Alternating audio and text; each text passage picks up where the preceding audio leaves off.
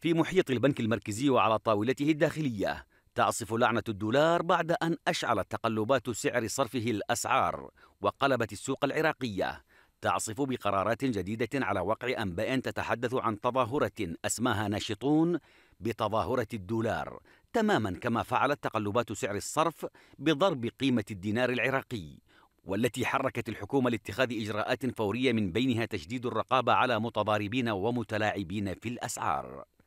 طاولة البنك المركزي تغيرت إدارتها بناء على طلب محافظ البنك مصطفى مخيف الاستقالة ليوافق عليها رئيس الوزراء مكلفا علي العلاق بإدارته وكالة. إجراءات حكومية سعت لتثبيت سعر الصرف ومنع التلاعب منها. فتح نافذة جديدة لبيع العملة الأجنبية لصغار التجار عبر المصرف العراقي إلا أنها تأتي بعد فرض البنك الفيدرالي الأمريكي. قيودا على منافذ بيع الدولار للسيطرة على عمليات تهريب لدول مجاورة.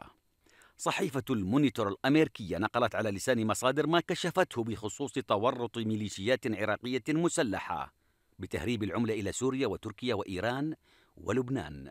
تقرير الصحيفة الأمريكية قال إن عشرات الاجتماعات التي عقدتها السفيرة الأمريكية لدى بغداد مع رئيس الحكومة كان على رأسها ملف سعر صرف الدولار السفيرة الأمريكية كشفت لقناة التغيير في مقابلة خاصة سعي واشنطن للتعاون مع الحكومة بخصوص منع التهريب إلا أنها نفت صلة بلادها في التأثير على أسعار الصرف وقيمة الدينار.